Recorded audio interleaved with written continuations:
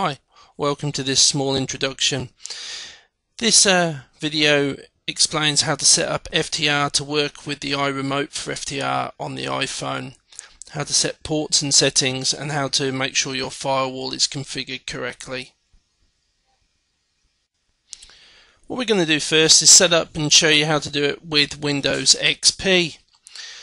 So what we need to do first on Windows XP is we need to set up the FTR remote access. To do this you go to your C program files and access FTR for the record. If you scroll down here you'll find a program called FTR remote access.exe. Double click that open up, make sure it's selected for Ethernet port, and then you need to select a port address. I've been using 10,002, and that's all you need to do. Press OK and move on. Next, what we need to do is we need to set up to make sure the port is accessible in the firewall. To do this, we open up Control Panel, go to Windows Firewall, and then we go to Exceptions. We add a port and this is where we put that port in. So we call it a name put in our port number 10002 in this case as was set up previously. Select TCP and then press OK.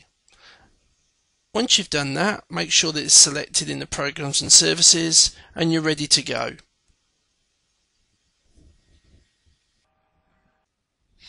Okay, next uh, what we're going to do is set up and show you how to do this for Windows 7. So uh, to do this first what we need to do is we need to go and set the firewall. So we open Control Panel and go to Systems and Security, select uh, check uh, the Windows 4 firewall and then click on Advanced Settings. Once you've clicked on Advanced Settings and just bring this window in uh, next one you need to do is select your inbound rules and need to make sure there's a new rule selected. And select port and press next. And then make sure TCP is selected and put in your port number again 10002 I'm being using. Um, allow all the connections and allow connections from any of your uh, types now we just call it a name. In this case, I'm going to call it FTR iRemote access. And then just a quick description. So port used by the iPhone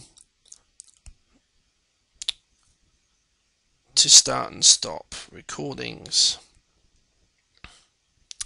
Okay, so once we've completed that, we click Finish and now we need to go and set the application up much the same as we did for XP. So open up Windows Explorer. I'm running Windows uh, 7 64-bit here. So my C drive, I need to go to Programs Files x86, uh, go to For the Record and scroll down for FTR remote access. If you're running a 32-bit Windows 7, you'll only see program files there. So we open up the record remote access just the same as before. We select Ethernet port, select our port address, make sure the protocol version is 3.3, press OK. And that's all you need to do to make it work for Windows 7. Anyway, that's it. Thanks for watching.